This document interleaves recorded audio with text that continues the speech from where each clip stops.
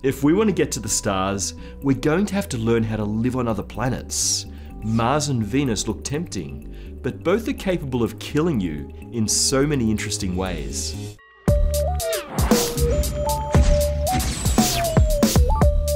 The surface of planet Earth is an unusual place. It's the only patch of the universe that we know of that won't kill you almost instantly. Wow, how ridiculously lucky that we found ourselves here. But what happens if we try to leave? I like to think that humanity is destined to become an interplanetary or even interstellar species. However, in order to do so, we first have to learn to live on other planets. The most obvious first steps are to build colonies on Mars or Venus. Now, we talked a bit about Venus as a colonization option in a previous episode. Today, I want to compare not their advantages, but rather the very interesting and varied ways that both planets would try to kill you. Might help us make a decision. We'll start with Mars, because it sits in popular consciousness as our go-to Earth 2.0. However, there are some real problems with this planet. Mars has only one tenth the mass of the Earth and 40% of its surface gravity. This puny size means it's hard for Mars to hold onto its atmosphere for two reasons. Point one, due to its small size, its molten interior solidified long ago, grinding its once spinning iron core to a halt and essentially turning off its magnetic field that lack of a strong magnetosphere has allowed the solar winds, the constant stream of energetic particles from the sun, to whittle away at Mars's atmosphere. And this is exacerbated by point two. The atmosphere was already only weakly held by Mars's low gravity. The atmospheric pressure on the surface of Mars is now around half a percent of that of Earth. So we're talking close to a vacuum here. So let's say you take the six month trip to begin your new life on Mars. Of course, you immediately decide to leave your colony's habitat and go for a nice stroll on the surface, without any gear. Well, first it'd be a bit chilly, but it's sometimes within the range of human survivability, getting as high as 20 Celsius or 68 Fahrenheit on the equator. A more typical value is minus 55 Celsius, minus 67 Fahrenheit. But let's say you brought a jacket. Of course, with that non-atmosphere, you're going to asphyxiate immediately.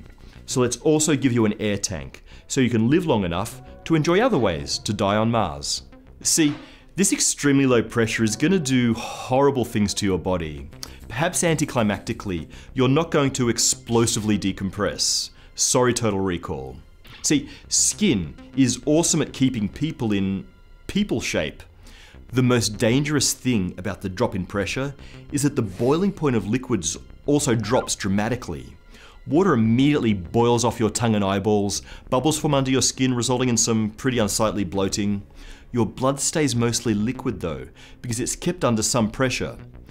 But it does start to form bubbles of nitrogen and oxygen, and this is what will actually kill you. The effect is called ebullism, and pretty soon after exposure to a vacuum, your blood will be leached of oxygen, starving your brain, and at some point blocking blood flow altogether. This might take a minute or two to stop your heart, but at which point you're done for. Happily for you, the deoxygenation of your blood means you'll pass out in 5 to 15 seconds, depending on how much you freak out. See, freaking out raises oxygen consumption, so don't do that. In 1966, a NASA vacuum chamber spacesuit test went horribly wrong, leaving Jim LeBlanc exposed to a vacuum. He reported the sensation of saliva boiling off his tongue right before blacking out at 15 seconds, which is actually pretty impressive. They got to him quick and he was completely fine. In fact, it's understood that you can survive exposure to a complete vacuum for around 90 seconds. As long as someone drags you back into that habitat airlock quickly, you'll probably experience a quick and complete recovery. At this point, you're probably thinking you'll just stay in the nice oxygenated, pressurized, heated habitat and be fine. Yeah, not so fast. See, space is flooded with extremely energetic solar radiation and cosmic rays. Earth's thick atmosphere and strong magnetic field are excellent protection against this stuff. Mars, not so much.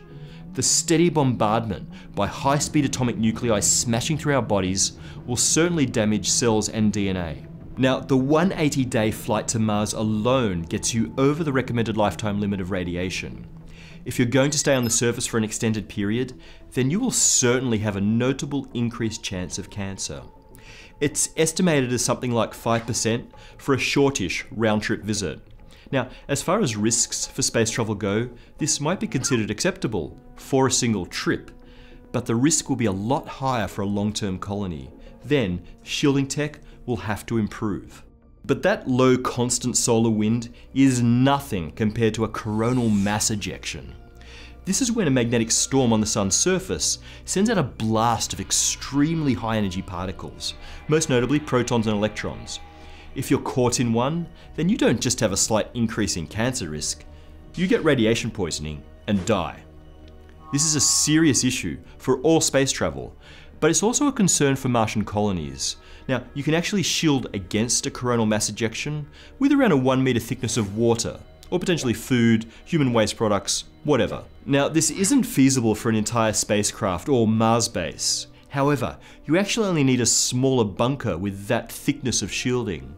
See, these blasts typically take days to reach Mars from the Sun, and are preceded by some visible indication, like a solar flare, whose light reaches you in minutes.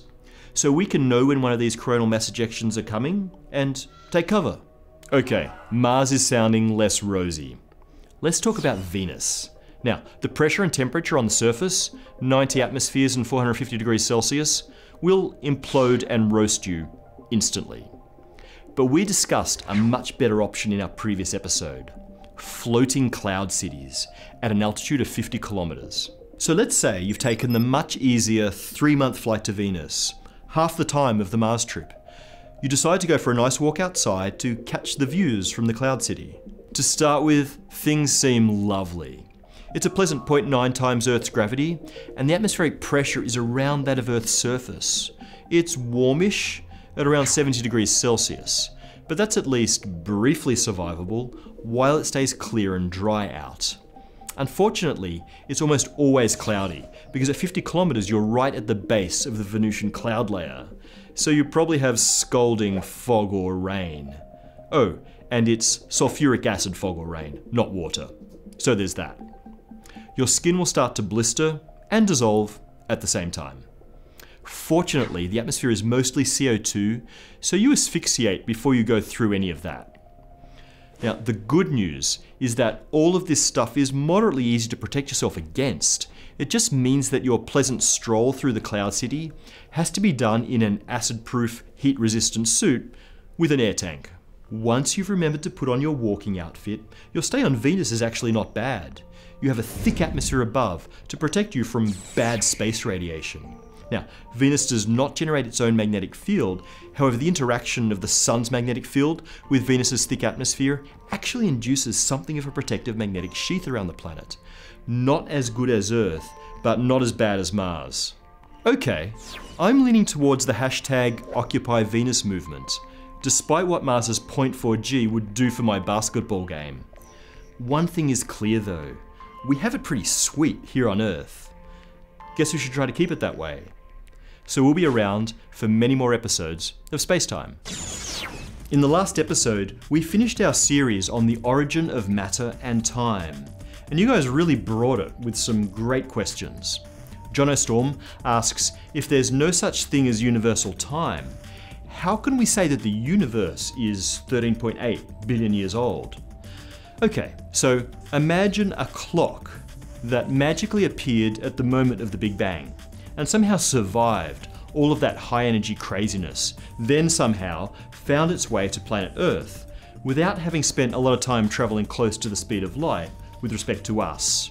That clock would now read around 13.8 billion years. That's just another way of saying that there have been around 13.8 billion years worth of interaction and change since the Big Bang for things in our reference frame. The universe is 13.8 billion years old here.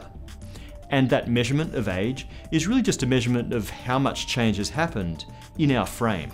Vlad Tchompalov asks whether all world lines converge at the Big Bang. Well, yes and no. If you're willing to project the Big Bang model back far enough, then any two world lines in the universe will eventually become arbitrarily close to each other. But this may not be a reasonable thing to do. We just don't understand the physics well enough to confidently project the size of the universe to infinitesimal smallness, to a singularity. For one thing, we don't have a theory of quantum gravity to get us into the Planck era. We'll address these issues in some episodes coming up soon. A fastidious cuber wonders whether people who study fundamental physics sometimes just do a Rick and Morty, as in they say, everything is an illusion, free will doesn't exist, nothing has a purpose, now let's go watch some TV. You know what? Kind of. Sometimes you have to tune out. Living in a state of constant existential awe gives you a migraine. So, let's all veg out and watch some interdimensional cable.